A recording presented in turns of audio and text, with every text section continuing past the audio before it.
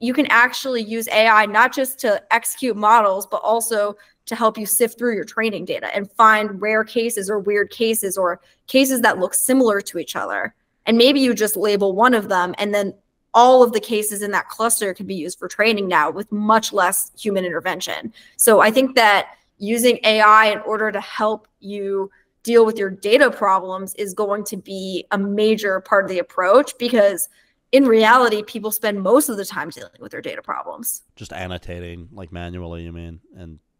fixing yeah. that annotating refining it like i've heard of people who only train on synthetic data because it is so difficult to sift through the massive amounts of data that their fleet generates that